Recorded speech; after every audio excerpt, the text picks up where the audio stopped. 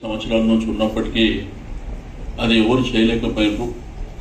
గౌరవ ముఖ్యమంత్రి గారు ఫస్ట్ ఇయరే రాష్ట్ర ఫెస్టివల్ కింద అనౌన్స్ చేయడమే కాకుండా దీంతో పాటు ప్రైవేట్ దేవాలయాల్లో కూడా ఈ దేశంలో డబ్బులు ఇచ్చేటువంటి సంబంధించి ఆ దేవాలయాలలో ఖర్చులు ఉంటాయి కాబట్టి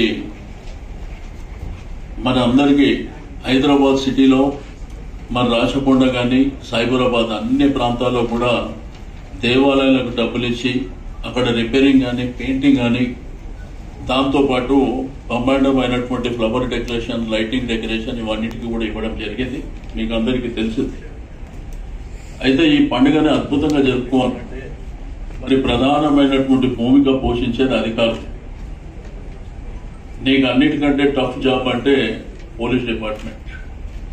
దాని తర్వాత GHMC metro water works electricity department R and B cultural department ఇవి ప్రధానమైనటువంటి భూమిక మరి పోషిస్తున్నటువంటి విషయం మీకు అందరికీ తెలుసు.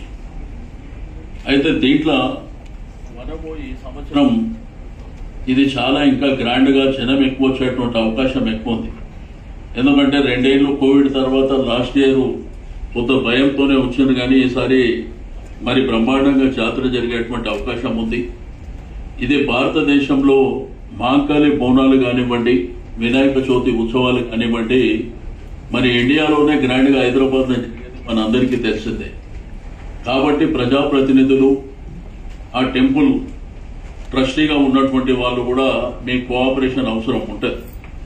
మీరు కూడా జాగ్రత్తగా ఈ పండుగను చేసుకోవడానికి అధికారులకు సహకరించవలసినటువంటి అవసరం కూడా ఉంటుంది. మీ రిక్వైర్మెంట్ కానీ మీ ప్రాంతంలో ఏమన్నా ఆ దేవాలయ పరిసర ప్రాంతాల్లో ఏదైనా అవసరం ఉంటే చెప్పాలి. ఏదైతే అక్కన్న మాదన్న దేవాలయం నుంచి అంబారి ఊరేగింపు సికింద్రాబాద్ మాంకాలి టెంపుల్ ప్రాంతం నుంచి అంబారి ఊరేగింపు అదేవిధంగా సబ్జిమండి ప్రాంతం. రెండోది జగదాంబిక అమ్మవారు గోల్కొండలో ప్రారంభమైనటువంటి బోనాలు.